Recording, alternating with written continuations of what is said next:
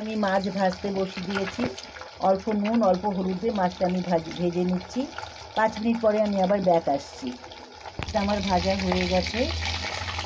মাছটা আমার ভাজা হয়ে গেছে। আমি নিচ্ছি। এখন আমি কালো জিরা, শুকনো লঙ্কা ফোড়ন দিচ্ছি। জিরা, শুকনো লঙ্কা ফোড়ন দিলাম।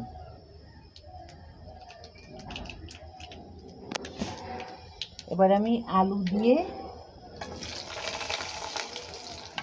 পেঁপে দিয়ে পাতলা করে বাটা মাছের ঝোল করছি। আলু আর পেঁপেটা আমি একটু কষিয়ে নিচ্ছি।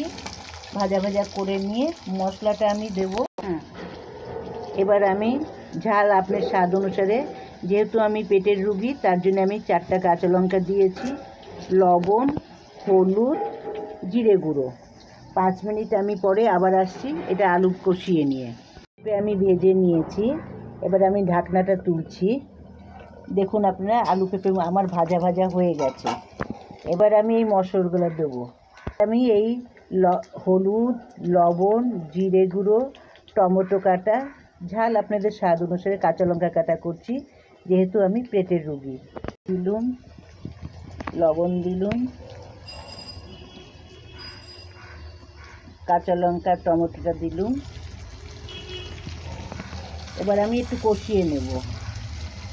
ভালো করে মিক্স করে নিলাম। দেখুন আপনারা, আলু, টমেটো, পেঁপে আমার বেশ সেদ্ধ সেদ্ধ হয়ে আসছে। এবার আমি পাঁচ মিনিটের জন্য চাপা দিয়ে দেবো। এই ঢাকনাটা খুলছি। দেখুন, আমার টমেটোগুলো গলে গলে গেছে। আলুগুলো বেশ মজে এসেছে। এবার আমি জিরের গুঁড়ো দিচ্ছি। এবার আমি জিরের গুঁড়োটা দিচ্ছি। দিয়ে আমি হালকা হাতে নাড়াচাড়া করছি। বেশি জোরে নাড়বেন না, আলুগুলো ভেঙে যাবে। এবার আমি এটার মধ্যে গরম জল দেবো। মোটামুটি কষানো হয়ে গেছে। পুরোপুরি লঙ্কা কাটা এটা। আজ একটু রান্নায় তেল বেশি পড়ে গেছে, মাছ ভাজা তেল কোথায় রাখব তার জন্য এটা রান্নাটা করে নিলাম। আমার পেঁপে আলুটা কষানো হয়ে পেঁপে আলুটা কষানো হয়ে গেছে এবং টমেটোটাও গলে গেছে। জিরে গুঁড়োটা দিয়েছিলাম, সেটাও বেশ মজে এসেছে। এবার আমি গরম জল দিচ্ছি। পাতলা হবে ঝোলটা। জল দিয়ে আমি পাঁচ মিনিটের জন্য আবার চাপা দিয়ে দিচ্ছি। এবার আমার পাঁচ মিনিট হয়ে গেছে, আমি চাপাটা সরিয়ে দিচ্ছি। দেখুন, ঝোলটা আমার ফুটে গেছে, বেশ সুন্দর। এবার মাছটা আমি এর মধ্যে ছেড়ে দিচ্ছি। তাতে ঝোল আর মাছ একসাথে ভালোভাবে মিশে যাক। আমরা দুজন মানুষ, ছোট পরিবার, মেয়ে আর আমি তাই রান্নার জায়গাটাও ভীষণ ছোট। আর বুঝতেই তো পারছেন, এবার ঝোলটার সাথে মাছটা ভালো করে মেখে যায়। তার জন্য আমি দু মিনিট চাপা দেবো যাতে ঝোলে সুস্বাদু হয়, মাছটাও যেন সুন্দরভাবে ইয়ে হয়ে যায়। দু মিনিট পরে আমি আবার ফেরত আসছি। দু মিনিট হয়ে গেছে, চাপাটা এবার আমি সরিয়ে দিচ্ছি।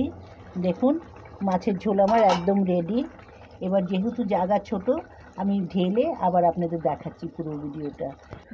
দেখুন, ঝোলটা আমার রেডি হয়ে গেছে। আপনারা অনায়াসে ঝোলটা বানিয়ে নিতে পারবেন। দেখলেন তো, খালি লবণ, হলুদ, একটু জিরে গুঁড়ো, কাঁচা লঙ্কা, শুকনো লঙ্কা ফোড়ন দিয়ে আমি ঝোলটা রেডি করলাম। ভালো লাগলে অতি অবশ্যই সাবস্ক্রাইব করবেন আমার চ্যানেলটাকে এবং বন্ধু বান্ধবদের মধ্যে শেয়ার করবেন। খুব জায়গা ছোট থাকার কারণ আমি পুরো ভিডিওটা আপনাদের খুলে দেখাতে পারলাম না। টোটাল রান্নাটা করতে আপনার পঁচিশ মিনিট লাগবে। কুড়ি থেকে পঁচিশ মিনিট সবজি কেটে, ধুয়ে, মাছ ভেজে, মাছের ঝোলটা রান্না করতে। নমস্কার, ভালো থাকবেন, শুভ দিন।